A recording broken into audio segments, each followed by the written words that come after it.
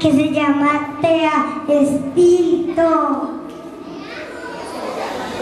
Ella es enviada por JPMTA.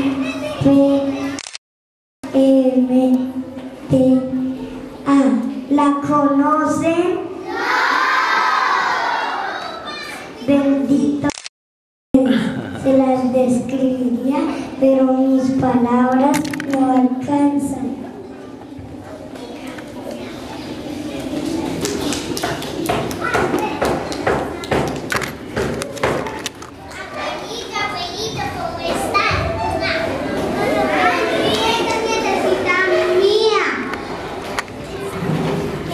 Sangre, mi sangre, harina en mi costal.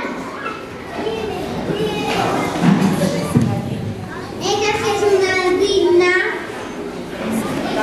representante de mi familia.